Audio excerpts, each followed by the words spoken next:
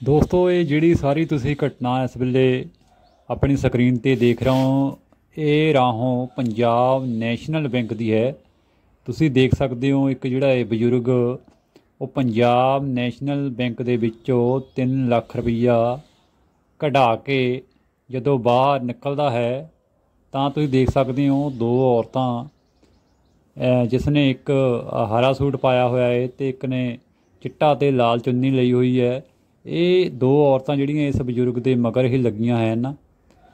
ਅਗਲੀ ਵੀਡੀਓ ਦੇ ਵਿੱਚ ਤੁਸੀਂ ਦੇਖੋ, ਇਹ ਬਜ਼ੁਰਗ ਜਦੋਂ 3 ਲੱਖ ਰੁਪਈਆ ਕਢਾ ਕੇ ਆਪਣੇ ਮੋਟਰਸਾਈਕਲ ਦੇ ਬੈਗ ਦੇ ਵਿੱਚ ਪਾ ਕੇ ਜਿਹੜਾ ਇਹ ਉਹ ਸਾਹਮਣੇ ਦੂਜੀ ਬੈਂਕ ਦੇ ਵਿੱਚ ਜਮ੍ਹਾਂ ਕਰਾਉਣ ਲਈ ਜਾਂਦਾ ਹੈ, ਤਾਂ ਉਸ ਤੋਂ ਪਹਿਲਾਂ ਹੀ ਜਿਹੜੀਆਂ ਇਹ ਦੋ ਔਰਤਾਂ ਜੋ ਆ ਜਿਹੜੀ ਆਪਣੀ ਦਾ ਲਾਉਣ ਦੀ ਕੋਸ਼ਿਸ਼ ਦੇ ਵਿੱਚ ਤੁਹਾਨੂੰ ਦਿਖਾਈ ਦੇ ਰਹੀਆਂ ਹਨ, ਜਦੋਂ ਇਹ ਬਜ਼ੁਰਗ ਆਪਣਾ ਮੋਟਰਸਾਈਕਲ ਜਿਹੜਾ ਇਹ ਸਟਾਰਟ ਕਰਕੇ ਜਾਣ ਹੀ ਲੱਗਾ ਸੀ, ਤਾਂ ਤੁਰੰਤ ਉਸੇ ਟਾਈਮ ਹੀ ਜਿਹੜਾ ਇਹ, ਇਸ ਦੋ ਔਰਤਾਂ ਨੇ ਬੜੀ ਹੀ ਚਲਾਕੀ ਦੇ ਨਾਲ ਤੁਸੀਂ ਦੇਖੋ ਜਿਹੜਾ ਇਹ, ਇਸ ਆਪਣੀ ਸਕਰੀਨ ਦੇ ਉੱਪਰ ਕਿ ਇਹ ਦੋ ਦੋ ਔਰਤਾਂ ਜਿਹੜੀਆਂ ਇਹ, ਕਿਵੇਂ ਜਿਹੜੀਆਂ ਚਲਾਕੀ ਦੇ ਨਾਲ, ਜਲਦੀ ਦੇ ਨਾਲ ਪੈਸੇ ਕੱਢ ਕੇ ਜਿਹੜੀਆਂ ਇਹ, ਉਹ ਫਿਲੌਰ ਰੋਡ ਵੱਲ ਜਿਹੜੀਆਂ ਏ, ਉਹ ਭੱਜ ਜਾਂਦੀਆਂ ਏ।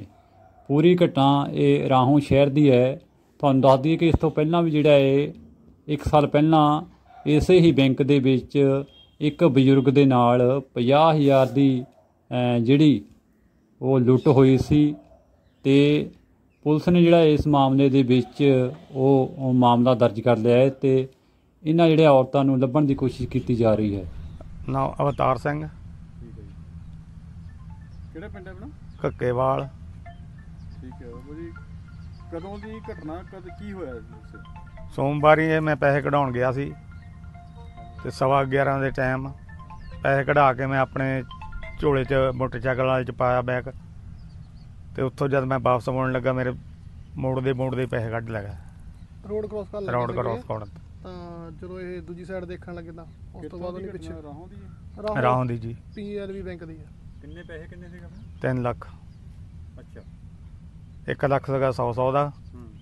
2 ਲੱਖ ਸੀਗਾ 5 500 ਦਾ। ਕਿੰਨਾ ਟਾਈਮ ਕਿੰਨਾ ਕੁ ਸੀਗਾ ਪਿੰਡ ਸਵਾ 11 ਦਾ। ਸਵਾ ਗਿਆ ਅੱਛਾ ਇਹ ਕਿੰਨੇ ਜਣੀਆਂ ਸੀ ਜਿਹੜੀਆਂ ਕੈਮਰੇ 'ਚ ਨਜ਼ਰ ਆਈਆਂ? ਤਿੰਨ ਜਾਣੀਆਂ। ਤਿੰਨ ਜਣੀਆਂ? ਤਿੰਨ ਜਾਣੀਆਂ। ਪੰਜਾਬੀ ਲੱਗਦੀਆਂ ਸੀ ਕਿਹੋ ਜਿਹੀ ਲੱਗਦੀਆਂ? ਨਹੀਂ ਹਿੰਦੀ ਬੋਲਦੀਆਂ ਸੀ। ਅੱਛਾ ਹਿੰਦੀ ਬੋਲਦੀਆਂ। ਹੂੰ। ਜਿਹੜੀ ਮੋਰੇ ਖੜੀ ਸੀ ਉਹ ਹਿੰਦੀ ਬੋਲਦੀ ਸੀ ਮਗਰ ਦੀਆਂ ਦਾ ਮੈਨੂੰ ਪਤਾ ਨਹੀਂ। ਅੱਛਾ। ਇੱਕ ਹਾਂਜੀ। ਜਣੀ ਲੇਡੀ ਇਹਨਾਂ ਦੇ ਅੱਗੇ ਆ ਖੜ ਗਈ ਨਾ ਮੋਟਰਸਾਈਕਲ ਦੇ ਠੀਕ ਆ। ਤਾਂ ਇਹਨਾਂ ਨੂੰ ਗੱਲਾਂ ਵਿੱਚ ਪਾ ਲਿਆ ਉਹਨੇ ਤਾਂ ਪਿੱਛੇ ਉਹ ਬੈਗ ਦੇ ਵਿੱਚੋਂ ਜਿਹੜਾ ਲਿਫਾਫਾ ਸੀ। 3 ਲੱਖ ਪੇਮੈਂਟ ਕਢਾਈ ਆ ਇਹ ਘਰੇ ਲੈ ਕੇ ਆਣੀ ਜਾਂ ਕਿੱਥੇ ਮੈਂ ਬੈਂਕ ਨਾਲ ਦੀ ਕੋਆਪਰੇਟ ਚ ਕਰਾਉਣੀ ਸੀ। ਉੱਥੇ ਜਾ ਕੇ ਜਮ੍ਹਾਂ ਕਰਵਾਣੀ ਕਰਾਉਣੇ ਸੀ। ਹਾਂਜੀ। ਤੁਹਾਨੂੰ ਪਤਾ ਕਦੋਂ ਲੱਗਾ ਫਿਰ? ਜਦੋਂ ਮੈਂ ਕੋਆਪਰੇਟ ਬੈਂਕ ਪਹੁੰਚਿਆ ਨਾਲੇ ਹੀ ਕੋਆਪਰੇਟ ਬੈਂਕ ਵੀ ਨਾਲੇ ਹੀ ਆ। ਅੱਛਾ। ਹਾਂਜੀ। ਅੱਛਾ ਉੱਥੇ ਤੁਹਾਨੂੰ ਜਾ ਕੇ ਪਤਾ ਲੱਗਾ ਵੀ ਪੇਮੈਂਟ ਹੈ ਨਹੀਂ ਵਿੱਚ। ਹਾਂਜੀ ਹਾਂਜੀ। ਠੀਕ ਆ। ਅੰਦਰ ਮਤਲਬ ਪੈਸੇ ਤੁਹਾਡੇ ਹੈਗੇ ਬਾਹਰੇ ਕੱਟ ਹੋਏ ਆ ਬੈਂਕ ਦੇ? ਬਾਹਰੇ ਦੇ ਬਾਰੇ ਨਿਕਲੇ। ਠੀਕ ਆ। ਹੁਣ ਕੀ ਪੁਲਿਸ ਪ੍ਰਸ਼ਾਸਨ ਤੋਂ ਕੀ ਤੁਸੀਂ ਮਦਦ ਦੀ ਅਪੀਲ ਕਰਦੇ ਹੋ? ਅਸੀਂ ਪਰਚਾ ਦੇਣ ਦਾ ਬਾਕੀ ਹੁਣ ਪਤਾ ਨਹੀਂ ਕੀ ਕਰਨਾ ਉਹਨੇ ਕੀ ਨਹੀਂ ਕਰਨਾ। ਤੁਸੀਂ ਕੀ ਦੇਖਿਆ ਵੀ ਔਰਤਾਂ ਉਹ ਅੰਦਰ ਵੀ ਸੀ ਜਾਂ ਦੋ ਜਾਣੀਆਂ ਅੰਦਰ ਸੀਗੀਆਂ ਮੈਂ ਉਹਦਾ ਕੈਮਰੇ 'ਚ ਪਤਾ ਲੱਗਾ ਉਦਾਂ ਪਹਿਲਾਂ ਨਹੀਂ ਮੈਨੂੰ ਕੋਈ ਪਤਾ। ਹਾਂਜੀ ਭਾਜੀ ਇਹ ਘਟਨਾ ਬਾਰੇ ਤੁਸੀਂ ਕੀ ਕਹਿਣਾ ਚਾਹੁੰਦੇ ਹੋ? ਆਪਾਂ ਜੀ ਅਸੀਂ ਤਾਂ ਇਹੀ ਕਹਿਣਾ ਚਾਹੁੰਦੇ ਆ ਕਿ ਪੁਲਿਸ ਨੇ ਆਪਾਂ ਐਫ ਆਈ ਆਰ ਦਰਜ ਕਰ ਲਈ ਆ ਤੇ ਇਹੋ ਜਿਹੀਆਂ ਘਟਨਾਵਾਂ ਦਿਨੋਂ ਦਿਨ ਵੱਧਦੀਆਂ ਜਾ ਰਹੀਆਂ ਤੇ ਜਲਦ ਤੋਂ ਜਲਦ ਇਹ ਜਿਹੜੇ ਦੋਸ਼ੀ ਆ ਉਹ ਫੜੇ ਜਾਣ ਤਾਂ ਜੋ ਇਹ ਅਣਸੁਖਾਵੀ ਘਟਨਾ ਹੈ ਕਿਸੇ ਹੋਰ ਨਾਲ ਵਾਪਰ ਸਕੇ। ਬਸ ਇਹੀ ਇਹ ਜੀ ਮਿਤੀ 25 ਨੂੰ ਨਾ ਜੀ ਅਵਤਾਰ ਸਿੰਘ, ਸਨ of ਦਿਦਾਰ ਸਿੰਘ ਕੱਕਿਆਲ ਨੂੰ। ਇਹ ਆਪਣੇ ਪੀਐਨਬੀ ਬੈਂਕ 'ਚ ਆਪਣੇ ਕੈਸ਼ ਲੈਣ ਆਏ ਸੀਗੇ ਜਿਨ੍ਹਾਂ ਨੇ 3 ਲੱਖ ਰੁਪਇਆ ਕਢਵਾਇਆ ਤੇ ਕਢਵਾ ਕੇ ਆਪਣੇ ਕਿਸੇ ਵਾਕਫਕਾਰ ਤੋਂ ਬਾਅਦ 'ਚ ਇਹਨਾਂ ਨੇ ਕਾਪੀ ਵੀ ਚੈੱਕ ਕਰਾਈ। ਦੋ ਚਾਰ ਇਹਨਾਂ ਨੂੰ 10 ਮਿੰਟ ਉੱਥੇ ਲਾਗੇ ਨੇ, ਖੜੇ ਰਹੇ ਨੇ। ਉਸ ਬੈਂਕ ਦੇ ਵਿੱਚ ਪਹਿਲਾਂ ਹੀ ਕੋਈ ਔਰਤਾਂ ਸੀਗੀਆਂ, ਨਾਮਲੂਮ। ਉਹ ਇਹਨਾਂ ਦੀ ਕਿਤੇ ਦੇਖ ਰੇਖ ਕਰਦੀਆਂ ਰਹੀਆਂ, ਰੇਕੀ ਕਰਦੀਆਂ ਰਹੀਆਂ। ਮੁੜ ਕੇ ਜਦੋਂ ਇਹ ਬਾਹਰ ਨਿਕਲਿਆ ਤੇ ਇਹ ਉਹਨਾਂ ਨੇ ਔਰਤਾਂ ਨੇ ਇਹਨਾਂ ਨੂੰ ਆਪਣੇ ਰਸ਼ ਦਾ ਦੂਜਾ ਦੇਖ ਕੇ, ਫਾਇਦਾ ਦੇਖ ਕੇ, ਇੱਕ ਜਣੀ ਮੋਹਰੇ ਤੇ ਹੋ ਗਈ ਤੇ ਦੋ ਜਣੇ ਪਿੱਛੇ ਤੇ, ਮੋਹਰੇ ਤੇ ਟ੍ਰੈਫਿਕ ਨੂੰ ਟ੍ਰੈਫਿਕ ਲੰਘ ਰਹੀ ਹੈ।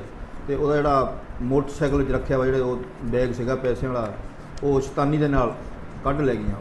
ਉਸ ਟਾਈਮ ਨੂੰ ਇਹਨਾਂ ਨੂੰ ਕੁਛ ਨਹੀਂ ਸੀ ਪਤਾ ਲੱਗਿਆ ਵੀ ਮੇਰਾ ਪੈਸੇ ਕਿਹਨੇ ਕੱਢਿਆ ਉਹ ਤੋਂ ਜਦੋਂ ਇਹ ਦੂਸਰੇ ਬੈਂਕ 'ਚ ਆਪਣੇ ਪੈਸੇ ਜਮ੍ਹਾਂ ਕਰਾਉਣ ਗਿਆ ਕੋਆਪਰੇਟਿਵ ਬੈਂਕ 'ਚ ਫਿਰ ਦੇਖਿਆ ਇਹਨੇ ਮੇਰੇ ਬੈਗ 'ਚ ਪੈਸੇ ਨਹੀਂ ਹੈ ਫਿਰ ਇਹਨਾਂ ਨੇ ਆ ਕੇ ਫੋਟੋ ਕਢਾਈ ਹੈ ਤੇ ਤਾਂ ਉੱਥੋਂ ਪਤਾ ਲੱਗਿਆ ਕਿ ਜਿਹੜੀਆਂ ਔਰਤਾਂ ਦਾ ਨਾਮ ਲੂਣ ਉਹਨਾਂ ਨੇ ਇਹ ਪੈਸੇ ਉਹਦੀ ਸ਼ਤਾਨੀ ਨਾਲ ਬੈਗ ਉਹਦੇ ਮੋਟਰਸਾਈਕਲ ਵਿੱਚੋਂ ਕੱਢ ਲਏ।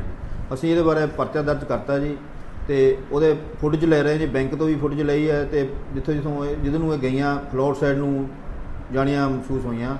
ਅਸੀਂ ਉਹਨਾਂ ਦੀ ਮਦਦ ਲੈ ਰਹੇ ਹਾਂ ਫੁਟੇਜ ਤੋਂ ਤੇ ਪਲੱਸ ਇਹਨਾਂ ਦਾ ਅਸੀਂ ਡੰਪ ਚੁਕਵਾਇਆ ਜੀ। ਡੰਪ ਦੀ ਮਦਦ ਨਾਲ ਨਾਲ ਅਸੀਂ ਇਹਨਾਂ ਨੂੰ ਟ੍ਰੇਸ ਕਰਾਂਗੇ ਜੀ। ਟ੍ਰੇਸ ਕਰਕੇ ਬਣਦੀ ਕਾਰਵਾਈ ਕਰਾਂਗੇ। ਮੁਕੱਦਮਾ ਨੰਬਰ ਹੈ ਸਰ ਇਹ 79 ਹੈ ਤੇ under section 379 IPS H C Anish Kumar ji ਇਹਦੀ ਤਫਤੀਸ਼ ਕਰ ਰਹੇ ਨਾਲ ਅਸੀਂ ਸਾਰੇ ਟੀਮ ਇਹਦਾ ਦੋ- ਦੋਸ਼ੀਆਂ ਦੀ ਭਾਲ ਕਰ ਰਹੇ ਹਾਂ। ਜਿਹੜੇ ਸੀਸੀਟੀਵੀ ਕੈਮਰੇ ਜਿਹੜੇ ਆ ਉਸ ਤੋਂ ਗਾਲੇ ਜਾ ਰਹੇ ਆ ਸ਼ਹਿਰ ਦੇ?